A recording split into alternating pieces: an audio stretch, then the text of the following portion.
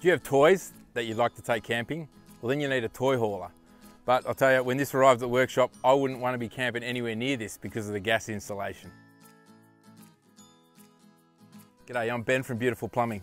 This toy hauler is totally awesome. Just about the whole thing is made out of aluminium, even the chassis.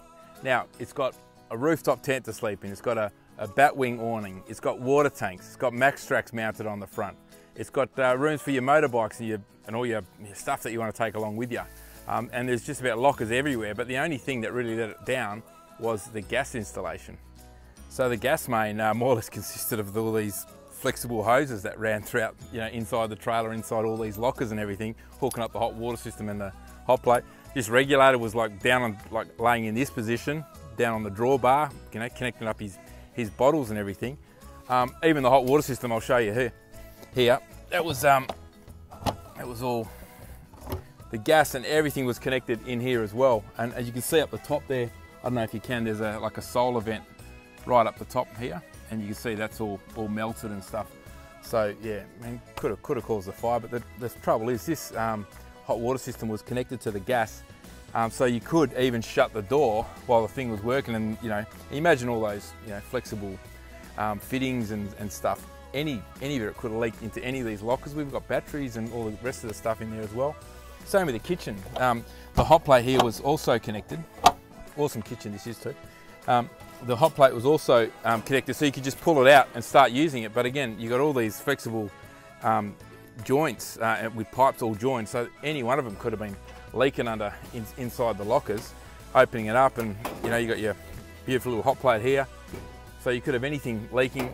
You know, just shutting it up like this, pushing it all back and there's a slight leak on one of the you know, flared joints or something just fill the whole thing up. So yeah, very dangerous. So that's probably why he didn't get a compliance plate and uh, yeah, couldn't get it over the pits. Okay, so once we ripped out all the illegal hoses and stuff, I made up a new aluminium bracket, rock solid. Um, that, that's there to support the new uh, gas regulator, so you can hook up both bottles. We ran a new gas line all the way down to the back and installed three uh, gas bayonets, connected them all up. Now, wherever we can, instead of using these flared um, joints, we try and weld all the pipes together um, because, you know, if rocks and vibration and stuff, sometimes those flared joints can come loose a bit and start to leak, where it's, it's less of a chance of that happening when it's a welded joint. So we try and do that. And also the welded joints, if you can get them on the jobs, um, not all the time you can, but if you can, they just look beautiful.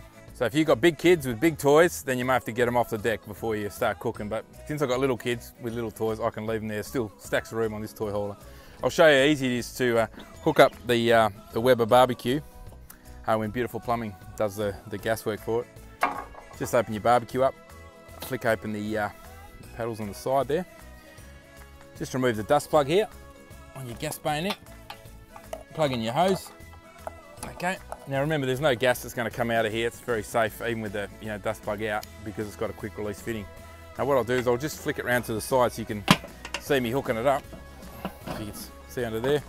Just put it through the ring, okay? Pull that back, click it on, and now she's now she's connected up like that. Open her up. This is electronic ignition, so you can just turn it on and woof, she'll light up. You can start cooking. Get, get your sausages happen. Okay, so now for the hot plate and, and the kitchen. Um, it was very important that the hot plate was you know, connected without tools. It just makes it so much easier. You don't want to be stuffing around with spanners and that when you're camping, you know, enough to do. So the only thing I was really worried about is when you slide the kitchen out, um, what if they hook the gas up and then slide it back without you know, forgetting that they had the gas connected and that fitting gets a bit of a knock or snaps it off and causes a leak or you're out in the middle of whoop whoop and there's no way to repair it. So that's the last thing I wanted to happen. So that's when I came up with a, what I call the safety flap. Okay, I'll just show you how easy it is to uh, hook up the hot plate without tools when you're out on the road. So just grab your, uh, your gas hose, okay, open her up. Down here, you got your dust plug um, that you're gonna take out of your bayonet. You pop your gas bayonet, um, the hose in. Remember there's gonna be no gas coming out of this even with the dust plug removed because it's a quick connect fitting. Now I've installed the quick connect fitting underneath this safety flap, as I call it. So all that needs to do is pull down. It's just a magnetic, so it just goes like that. Pulls down, drops down, and then you can whack it on like that, okay? So now the hot plate is connected to gas, ready to, ready to use. Now the reason that safety flap hangs down that way is then, as you can see, if they start pushing the kitchen closed, that safety flap will hit and they'll go they'll realize hey something's going on but it's not touching the hose. You know it's not going to damage that. And then all they've got to do is unplug it whack it up and then they can keep going and shut the kitchen. Okay. So the other gas bayonet that we installed is just down here. And this is for the future hot water system. We're going to have to sort something out there so it's not dangerous but at least there's no gas connected to it at the moment.